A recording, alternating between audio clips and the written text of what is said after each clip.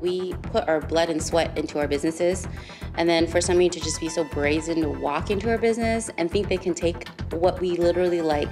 work our whole life for, you're taking away our livelihood.